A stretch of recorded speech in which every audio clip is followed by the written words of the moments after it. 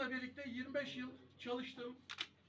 Ondan her zaman doğruluğu, dürüstlüğü, adaletli olmayı, eşit davranmayı, hak öğrendim.